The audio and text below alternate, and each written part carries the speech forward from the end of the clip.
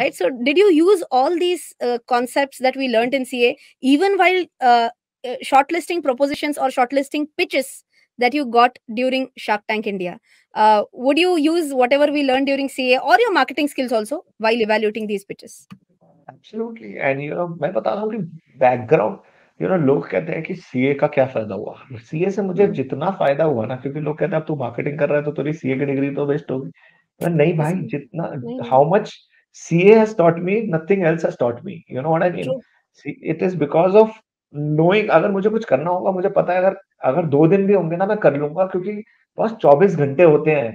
You know अट्ठारह घंटे कर सकते हैं स्लॉग कर सकते हो। सो सीए के प्रिंसिपल्स जो होते हैं फाइनेंस के अगर आपने वो सीख लिए तो लाइफ लॉन्ग आपको यू नो अब तो आप मार्केटिंग करने चाहते हो if I went to an MBA school first year you are also taught finance you are taught principles of finance right so so as a as a CA, you've learned all that, you know all that, and you just brush up on those skills going forward.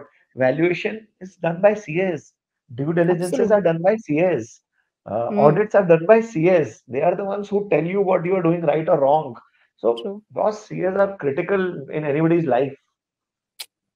so uh, like surrounded with a lot of CAs. My family is also about CAs. My they have a okay lot of friends around CAs. so uh, i I everybody that you should have cas around you always.